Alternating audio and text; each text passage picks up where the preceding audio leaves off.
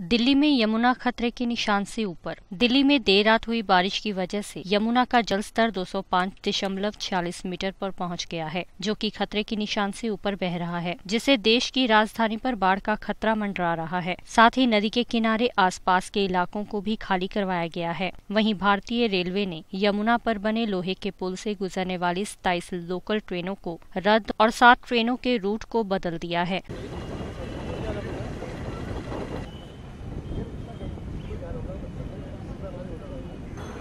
हैं किने